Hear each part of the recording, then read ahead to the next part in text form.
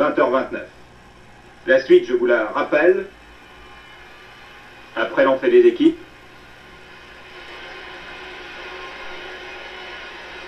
Dans une ambiance extraordinaire, plus de 25 000 spectateurs à Nancy.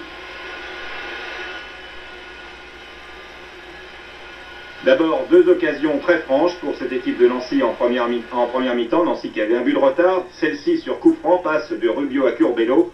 Un boulet de canon tout près de la lucarne d'Ingel. Un premier grand frisson. Nous revoyons ce tir au ralenti.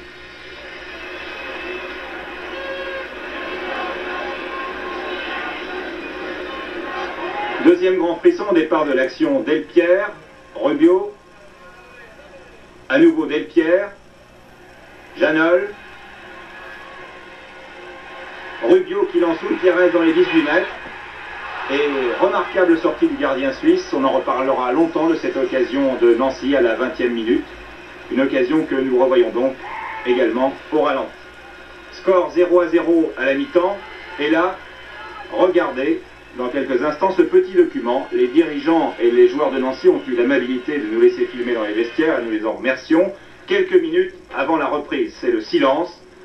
Et dans le regard de certains, on croit déjà lire la déception.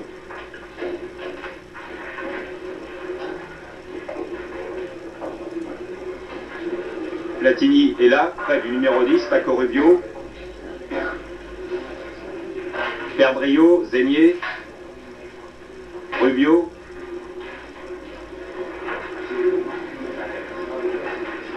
Neubert. Curbelo, Janol.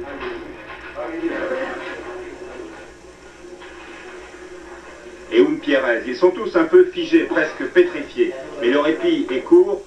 Maintenant, tout va aller encore plus vite. Premier but du Servette, Amberg sur la gauche. Tête très précise d'Elia. Et c'est le premier but.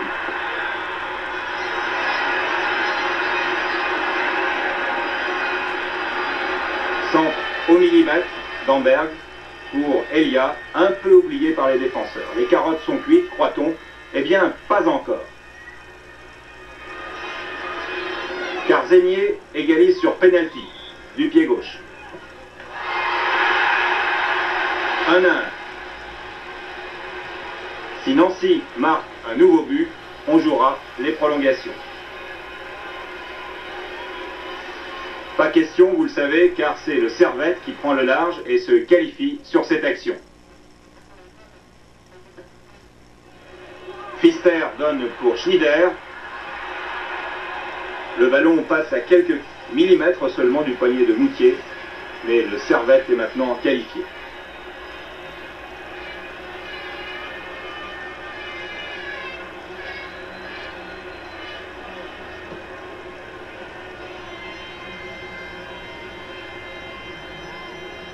À la dernière minute, Nancy égalise pour la forme et pour l'honneur sur un tir réflexe d'Oum qui fut l'un des meilleurs de son équipe.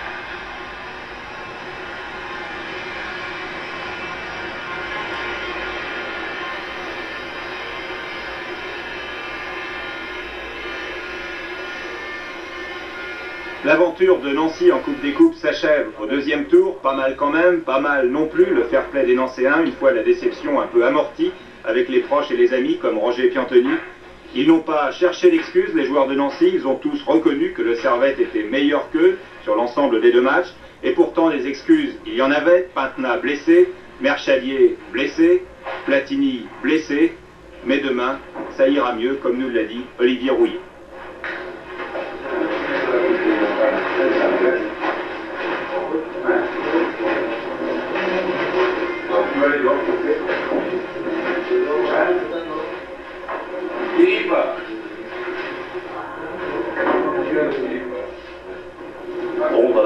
Il faut tourner la page, on a éliminé la Coupe d'Europe, faut reprendre le championnat, même sans Michel, bon, on en a plus pour longtemps puisqu'il reviendra au mois de janvier, ce sera à nous, le- encore le temps qu'il n'est pas là, d'essayer de tirer le maximum de points pour quand on va le retrouver, de repartir du bon pied.